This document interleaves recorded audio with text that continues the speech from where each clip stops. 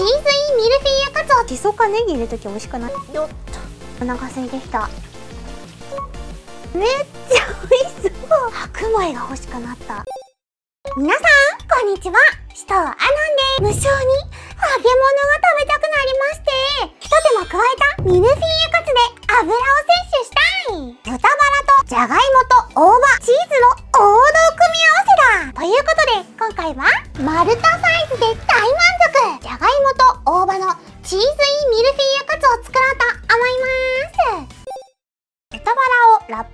広げました。広げるの超大変だったんだから。塩コショウで下味をつけていきます。それから揚げることを考えるとちょっと濃いめでもいいかなって感じですね。スライスしたじゃがいもを並べていきます。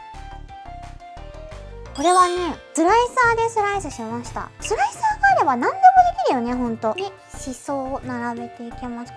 大体でもさ食べ物ってしそかネギ入れるとき美味しくなるよね。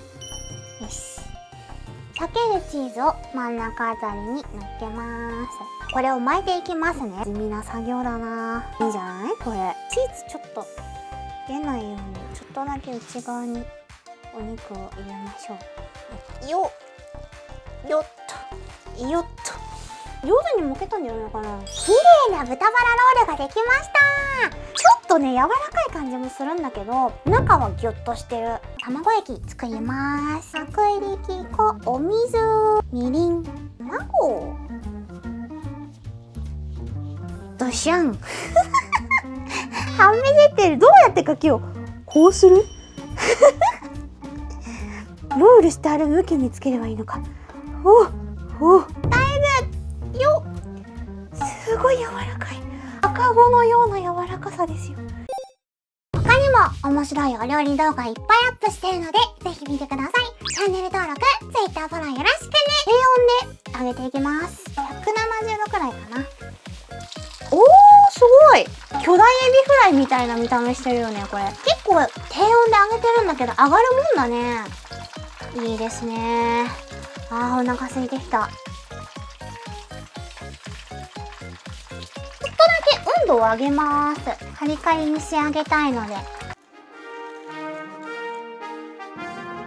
めっちゃ美味しそう。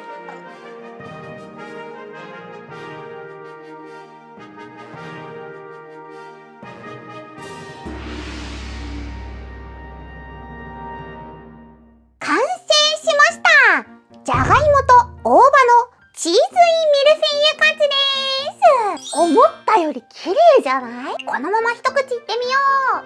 チーズがすごいんよ。マジで。いただきます。うん。まー想像以上の美味しさだわこれ。具がパンパンで食べ応えがある。シソが入ってるからか豚臭さが一切ないのよ。がっつりいけるね。ソースかけよう。美味しいけど絶対これでも美味しいはず。ふうふうふう。違うわ。そのままの味はじゃがいもとチーズの食感がすごく良くておつまみとしていけそうだなって思ってたんだけどソースかけたら白米が欲しくなった。お肉の味がすっごい口いっぱいにする。そんなわけで今日はじゃがいもと大葉のチーズインミルフィーユカツを作ってみたんだけども最高だった。今回溶けるチーズではなく裂けるチーズを入れたんだけどもちもち感がアクセントになってよかったし大葉の香りが食欲をそそって何口でもいけちゃうような味でした。少し時間はかかるけど皆さんもぜひ作ってみてくださいね。では次の動画でお会いしちゃう。